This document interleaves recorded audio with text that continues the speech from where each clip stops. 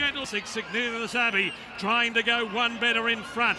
Gentildonna raising an effort on the outside. They get away from Charretta. Then very nice name. Await the dawn. Royal Diamond doing it into the outside. It'll be too late. St Nicholas Abbey in front. The Japanese mare trying to run him down, but St Nick's in front. He'll go one better this year. St Nicholas Abbey drew clear. He won the Dubai Sheema Classic. St Nicholas Abbey beat Gentildonna. Very nice name, third.